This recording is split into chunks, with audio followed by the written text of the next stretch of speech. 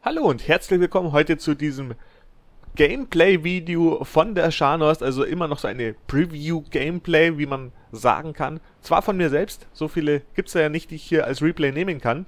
Und ähm, für alle, die dem Stream damals zugesehen haben, die kennen die Runde schon, weil die ist mir im Stream selber geglückt.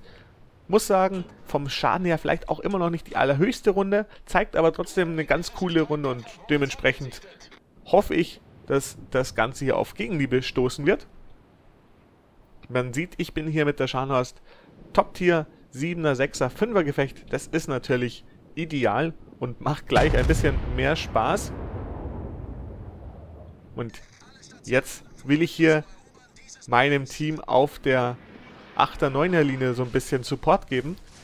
Reinfahren tue ich da in diese Gasse eher ungern, weil gerade wenn da Torpedos unterwegs sind, muss man sagen, macht es nicht so wirklich viel Spaß. Jetzt hat mich hier die Nürnberg ein bisschen aufs Korn genommen.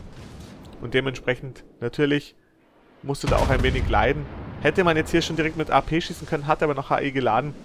Deswegen sieht man jetzt auch, dass ich hier auf AP direkt umlade, aber auch da 5280 Schaden und ein Ausfall ist jetzt nicht so ganz schlecht.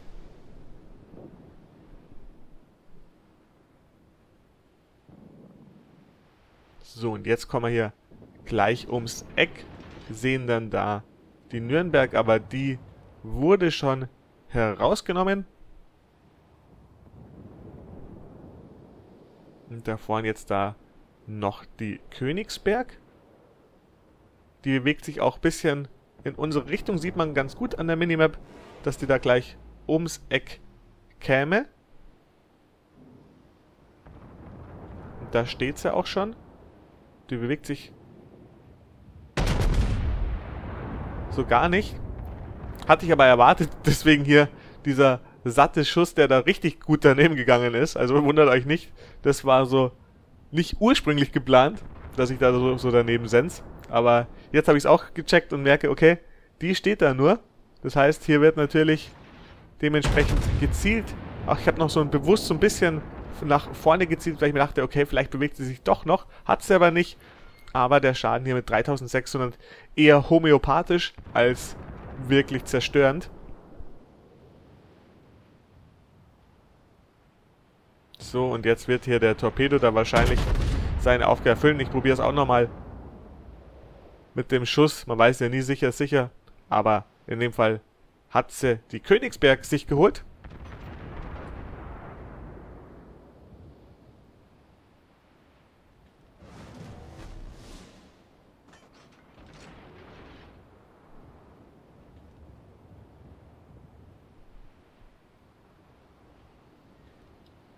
Und da jetzt die Mahan, die da reinkommt, in dem Fall die AP-Munition geladen, aber auch die kann man natürlich draufsetzen, weil 2200 Schaden ist besser als nix.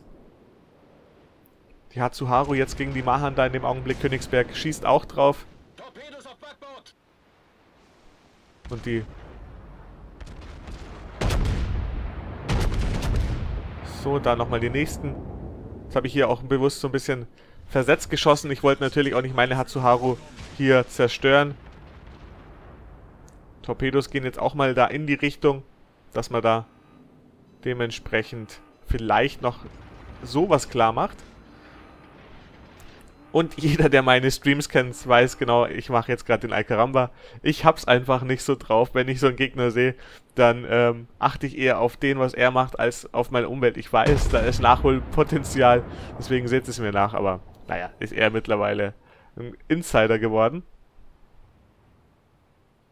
So, jetzt lade ich HE, weil ich hatte ehrlicherweise erwartet, dass da die Königsberg sich so ein bisschen mehr und schneller um die machen könne, kümmert. Deswegen hatte ich noch lange AP geladen.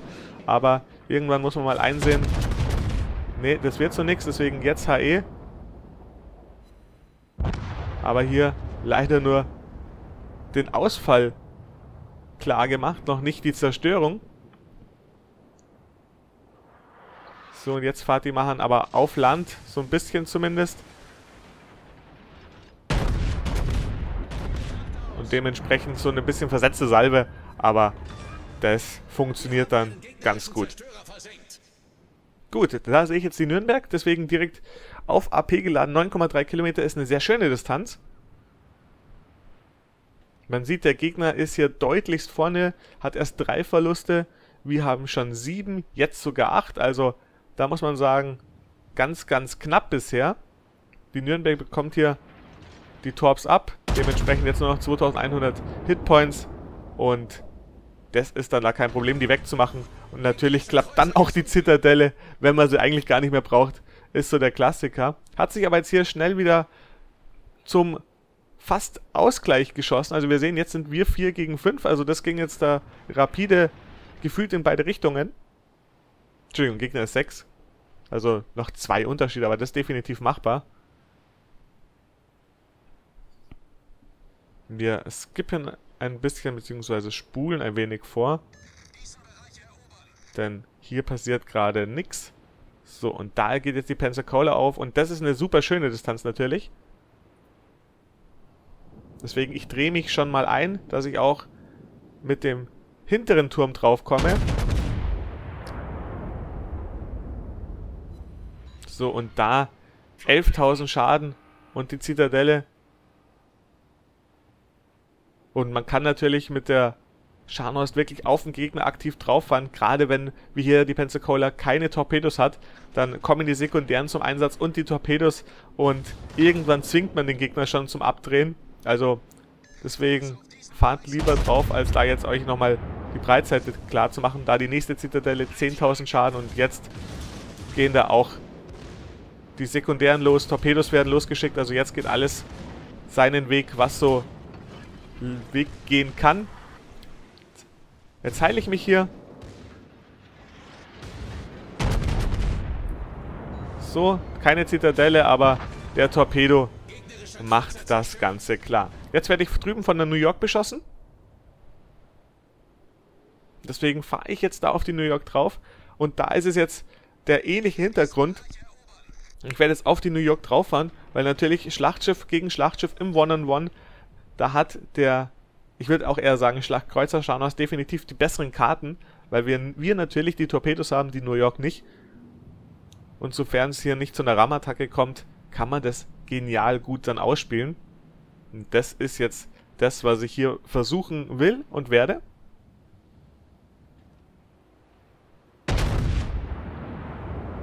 So, New York kommt mir jetzt da voll entgegen. New York Tier 5 gegen uns Tier 7, also da ist es natürlich von der Tierstufe auf unserer Seite. Man muss aber sagen, die New York ist von der Panzerung her ein wenig stärker, beziehungsweise äh, die New York selber ist stärker als so ein Schlachtkreuzer. Deswegen da jetzt mal HE vorne drauf geballert, weil der Winkel natürlich für AP eher mau ist. Und jetzt kommt er genauso, wie ich es brauche. Ich kann hier die Torpedos abfeuern. Perfekt. Alle drei finden den Weg ins Ziel und damit 28.000 Schaden. Die sekundären geben auch noch ein weiter Gas. Repariert sich hier oder heilt sich hier vielmehr, sieht man ganz gut. Jetzt haben wir ihn angezündet. So, und jetzt drehe ich ein. Zum einen natürlich, weil ich mich wieder Insel wieder nähern würde, aber auch, weil ich natürlich hier die Torpedos da losfeuern will. Und der Winkel, da kann man einfach gut arbeiten mit den Torpedos. Sieht man, dass der über die gesamte Seite des Schiffs geht. Und hier mit zwei Torpedotreffern wird die dann zerstört. Von den Tickets nähern wir uns langsam jetzt auch endlich mal den Gegner an. Sind zwar immer noch gut hinten, aber ich hole mir jetzt hier den Punkt C. Die anderen Jungs holen sich drüben den Punkt A.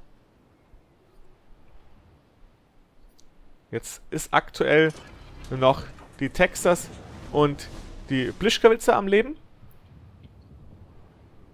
Und jetzt haben wir alle Punkte auf unserer Seite. Das heißt natürlich, die Tickets gehen jetzt ordentlich hoch. Jetzt ist aber auf B schon wieder jemand. Und dementsprechend muss man dahin.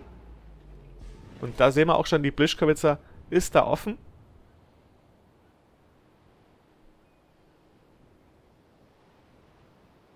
Deswegen fahren wir natürlich drauf. Die New York sollte die ja aufdecken.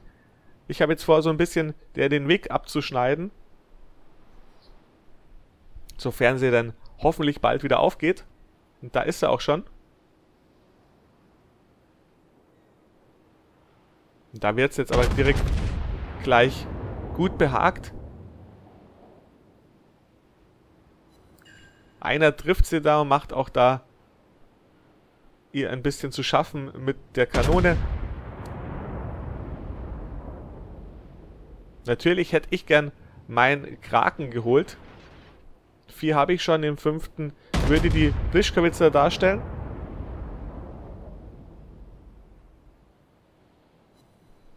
Da das Großkaliber wenigstens eingefahren. Und jetzt sehen wir, okay, da ist auch jemand auf C. Also das heißt, da ist jetzt die Texas klar.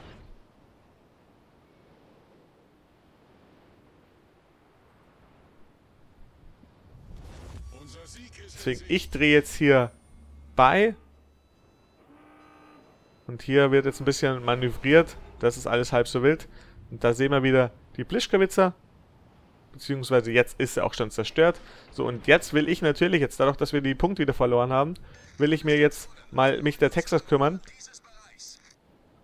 Und da dachte ich mir, ich fahre hier wieder durch die Mitte. Da hätte ich nämlich das gleiche machen können wie vorhin auch. Aber die Texas selber wollte nicht so mitspielen, denn, obwohl ich sie gefragt habe, wo sie ist und hat geschrieben C, war sie erstmal hier nicht aufzufinden.